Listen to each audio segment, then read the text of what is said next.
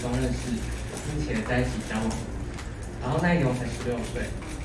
他第一次违反我意愿的性行为，是在二零一八年的横店，因为他当时有拍摄工作在横店，然后他会都他都会比我早来起床去做拍摄前的准备。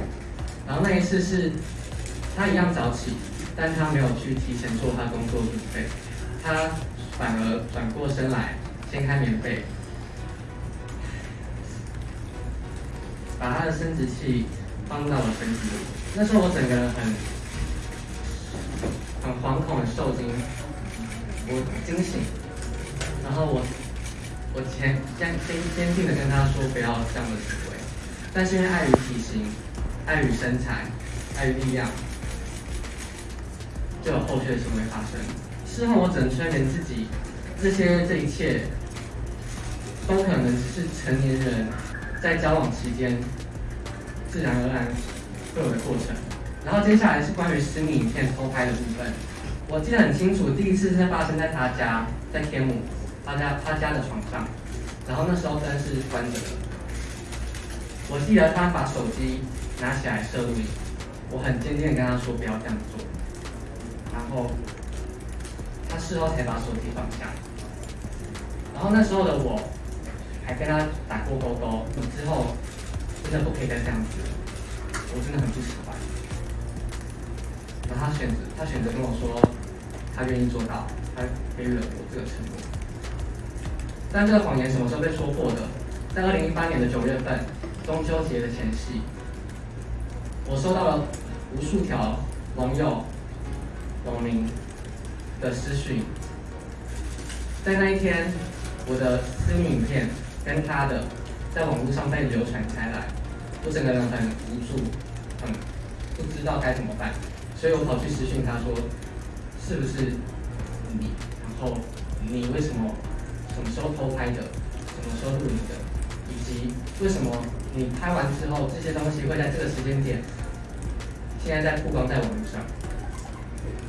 但他那时候选择回答我是说，他不知道这一切是怎么发生的，他不知道手机的影片怎么会外流出去，他只有回答我说，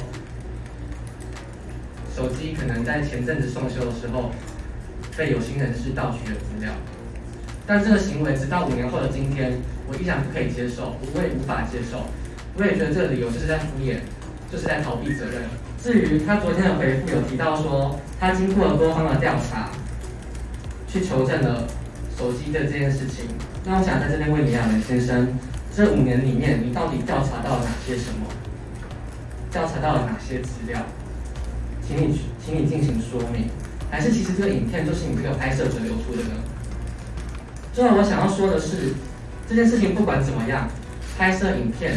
拍摄未成年的私密影片等等，都是违法的，这是不变的。请严先生针对以先以上几点做正面回复，不要再试图的混淆视听。提告吗？这点我还在跟律师做讨论。我当时对话记录很明显的就是跟他说，我只有跟你一个人发生过性行为，而且我没有允许过你进行拍摄，这些我们都有对话记录存在，在我的手机，在他的手机可能也有备份。所以，对于他说说的，所以所以他所说的没有强迫这件事情，我觉得是无稽之谈。他确实是有发生的。刚刚出现，你是不愿意看到他吗？所以你低头。我真的没有很愿意。我觉得他这些道歉不应该是我被爆出来之后，我爆料之后他才跟我道歉。这是一个非常有点难过的点，就是他在文章里面也有说到，他这几年也有在试图的。调整跟改变，那在哪边？是针对其他的受害者吗？还是我不重要？还是等等？还是他觉得这件事情怎么样？我觉得今天整件事情等爆被爆料出来后才做道歉，这个道歉是很很没有诚意的，而且我也觉得没有必要。